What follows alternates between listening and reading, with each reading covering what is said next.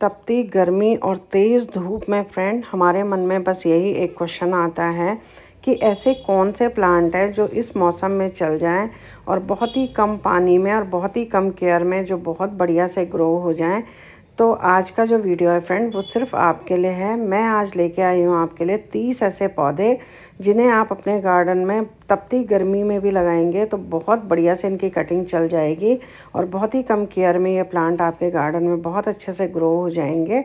तो hello friends, मैं आशा, आपका स्वागत है आशा की गार्डनिंग में।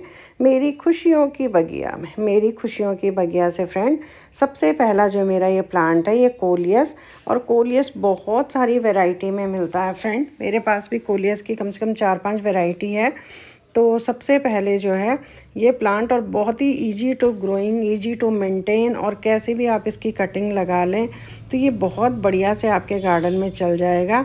तो मैंने देखिए कोलियस की ये वाली वैरायटी की मैंने कटिंग लगा ली थी तो देखिए कितने बढ़िया से जो है इसकी कटिंग चल पड़ी है और इस पर देखिए कितने अच्छे से रूट रूट डेवलप हो गई है।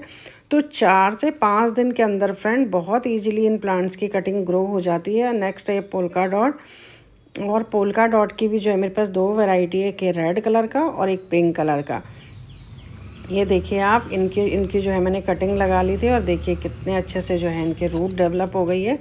तो बहुत बढ़िया से ये प्लांट चलते हैं फ्रेंड आपके गार्डन में। नेक्स्ट है ये बोट लिली या रियो का प्लांट और इसकी भी जो है बहुत बढ़िया जो है, इसकी कटिंग तो नहीं होती फ्रेंड लेकिन इसके जो है जो रूट को है रूट को सेपरेट करके हम इसको प्लांट को लगा सकते हैं, क्योंकि ये अपनी रूट के आसपास जो है बहुत सारे पप्स निकालता है तो इन पप्स को हम सेपरेट करके इससे एक नया प्लांट ग्रो कर सकते हैं, और मैंने बहुत सारे अपने गार्डन में ग्रो कर रखा है, और मैंने भी इसे कटिंग से ही अपने गार्डन में ग्रो किया था, और बहुत ही easy to maintain easy to grow है ये प्लांट और ये देखिए जगह जगह जो है मैंने इसकी कटिंग्स लगा रखी है और बहुत सारे मैंने गिफ्ट भी कर दिए हैं। नेक्स्ट है ये पर्सलेन और पर्सलेन एक इतना बढ़िया फ्लावर प्लांट है फ्रेंड्स समर का, जिसे आप सबको अपने गार्डन में ज़रूर ऐड करने चाहिए। बहुत सारे कलर्स में ये पर्सलेन मिलता है और मेरे पास फ़िलहाल ये दो तीन कलर हैं तो अभी तो जो ये अच्छे वाला जो डेवलप हो रखा है, ये सिर्फ़ ऑरेंज और पिंकिस लिए हुए ये कलर है, बहुत खूबसूरत ये लगता है। तो इसे भी आप ज़रूर अपने गार्डन में इस टाइम पर जो है कटिंग से ग्रो करें नेक्स्ट है देंथस और देंथस को भी आपको अपने गार्डन में ज़रूर से कटिंग से ग्रो करना चाहिए। और मैंने लगाई थी एक हिविस्कस की कटिंग तो वो भी बढ़िया से चल रही है मेरी। तो हिविस्कस भी आप इस समय जो है कटिंग से ग्रो कर सकते हैं फ्रेंड और नेक्स्ट है ये वंडरिंग जू और वंडरिंग जू भी एक ऐसा प्लांट है, जिसे अगर आप चार पाँच दिन तक भी पानी नहीं देते हैं तो भी ये बढ़िया से सरवाइव कर जाता है। और किसी भी कितनी भी तेज़ गर्मी हो, ये बहुत ही अच्छे से चल पड़ता है आपके गार्डन में और बहुत ही low maintenance low care plant है। तो इसको आप ज़रूर ऐड करें अपने गार्डन में। इसको ऐड करना ना भूलें। और मैंने तो ये बहुत सारा लगा रखा अपने गार्डन में और मेरे पास इसका ये नेक्स्ट जो है, ये वेरीगेटेड भी है इसका। और देखिए आप इस पर, देखिए मैंने इसकी कटिंग लगाई थी और देखिए कितने अच्छे से इस पर रूट डेवलप हो गई है। तो इसको आप ज़रूर ऐड करें अपने गार्डन में। इसको ऐड करना ना भूलें, बहुत खूबसूरती आपके गार्डन को देता है। और नेक्स्ट है एक क्रीपर चार्ली।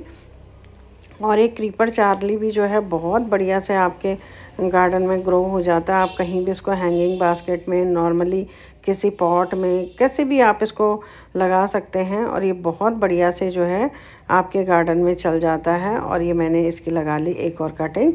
तो इसको ग्रो करना भी ना भूलें फ्रेंड अगला है ये पर्पल हार्ट और पर्पल हार्ट भी ये बहुत खूबसूरत इसकी लीव्स लगती हैं।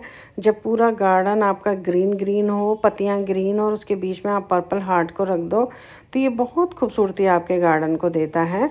और सबसे बड़ी बात है, इस पर जो छोटे छोटे फ्लावर्स निकलते हैं, वो भी बहुत सुंदर लगते हैं। नेक्स्ट है ये स्वीट पटेटो वाइन और ये स्वीट पोटैटो वाइन भी बहुत खूबसूरत लगती है। आप इसको कहीं पर भी रख सकते हैं।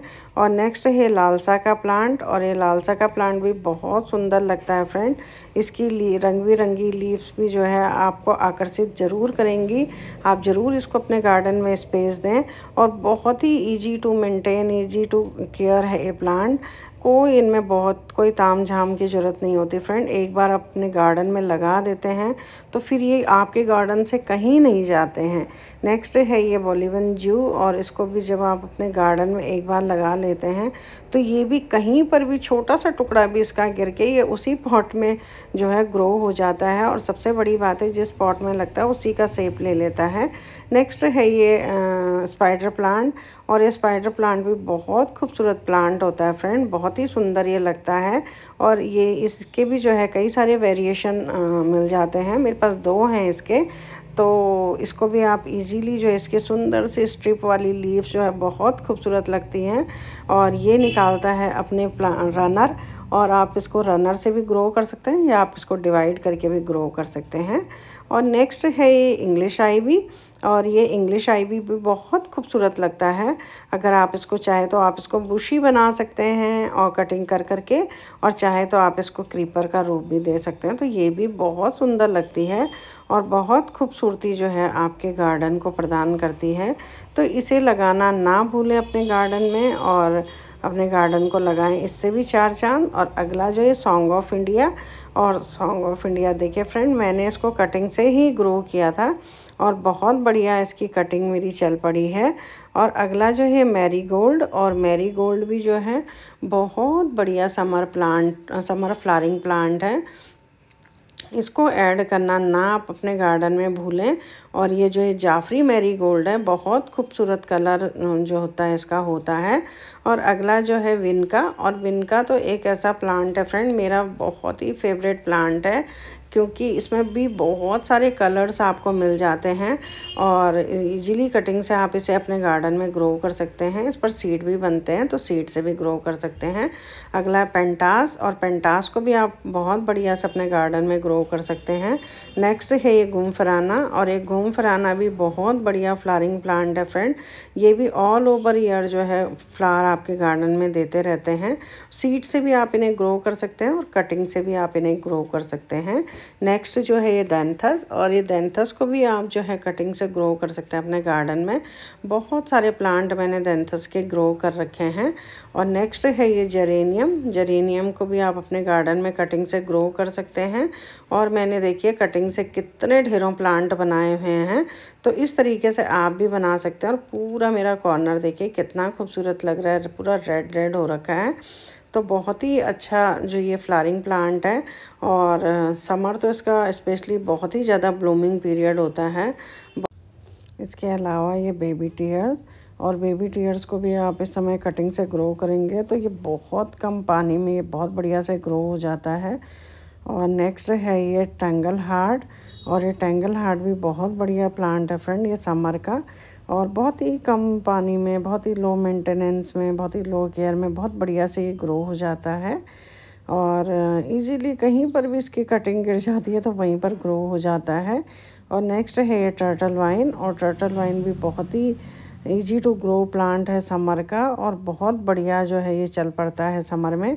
अभी मैंने इसकी हार्ड टूनिंग कर दी थी और आप देखिए कितने बढ़िया से जो है ये ग्रो होने जैसे समर आया तो इन पर अपना आप